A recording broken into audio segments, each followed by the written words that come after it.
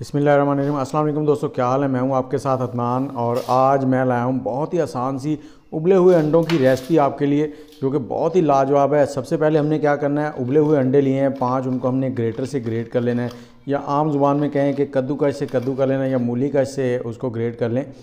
और जैसे ही ये ग्रेट हो जाएँगे, इनको रखेंगे हम साइड में।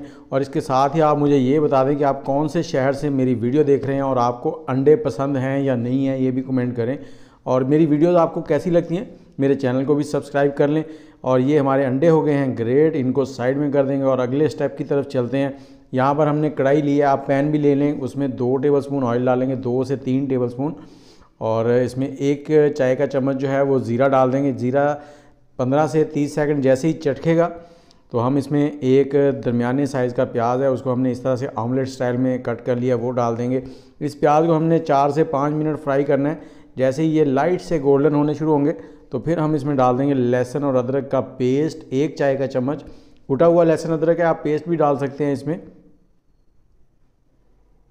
ये बहुत ही लाजवाब बनती है और बहुत ही जल्दी और झटपट में तैयार हो जाती है ये रेसिपी यहाँ पे हमने लहसुन, अदरक का पेस्ट डाल दिया है। अब हमने इसको भी दो से तीन मिनट फ्राई कर लेना ताकि इसका कच्चापन ख़त्म हो जाए।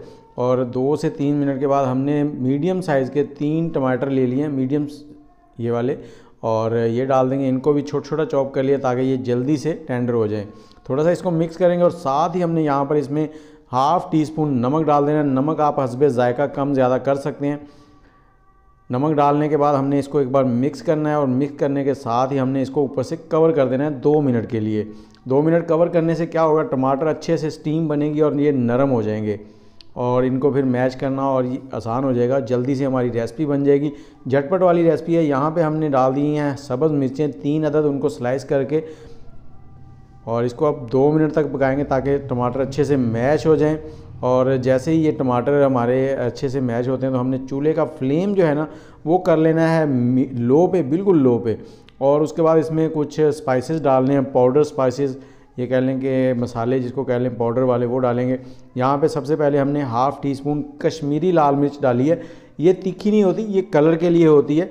तो कश्मीरी लाल मिर्च का इस्तेमाल करें और साथ ही हमने दो से तीन पिंच जो है वो हल्दी डाल दी है और हाफ़ टी स्पून से थोड़ा सा कम हमने काली मिर्च डाल दी है। साथ ही धनिया पाउडर हाफ़ टी स्पून डाल दिया है और अब हम, हमने इसको भी दो से तीन मिनट अच्छे से पका लेना और यहाँ पे आप एक चीज़ में रखें कि आग का फ्लेम जो है ना वो लो है। हमने यहाँ तेज़ नहीं किया। लो से हल्का सा तेज़ है और इसके बाद जैसे ये दो से तीन मिनट में फ्राई हो जाते हैं तो हमने जो अंडे ग्रेट किए थे वो डाल देने इसमें। अंडे डालने के साथ साथ ही हम इसमें थोड़ा सा सब्ज़ धनिया डालेंगे। और साथ ही थोड़ा सा गरम मसाला डालेंगे और इसे एक से दो मिनट मीडियम आँच पर, यहाँ पे आँच जो है, आग जो है वो हमने दरमियानी कर देनी है, फ्लेम मीडियम कर देना है और मीडियम आँच पर दो मिनट इसे पकाएँगे और दो मिनट पकाने के बाद आपको डिश आउट करके दिखाते हैं।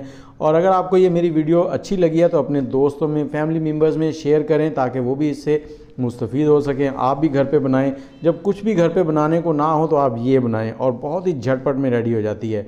ये देखें और अब इसको करते हैं डिश आउट डिश आउट करके आपको दिखाते हैं। और इसके साथ साथ आप मेरे चैनल को सब्सक्राइब कर लें, ये आपकी तरफ़ से हमारे लिए एक इनाम होता है। तो इस इनाम से हमें ज़रूर नवाजा करें। ये आपकी तरफ़ से हमारे लिए प्यार, मोहब्बत होती है। और इसके साथ ही मुझे अब इजाज़त दें, आप चैनल सब्सक्राइब कर लें, बेल के आइकन को दबा लें। दुआओं में याद रखिएगा। इन ऐसी रेसिपी लेके आपके लिए आते रहेंगे झटपट सी। अल्लाह हाफिज़।